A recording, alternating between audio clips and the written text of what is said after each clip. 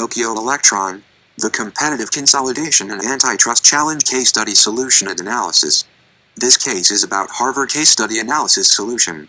Case analysis include these sections. Introduction, Background, SWOT Analysis, Porter 5 Forces Strategic Analysis, Alternatives, Proposed Solution, Recommendations.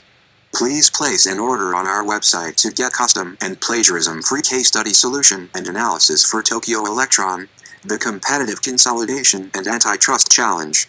Thanks for watching this video.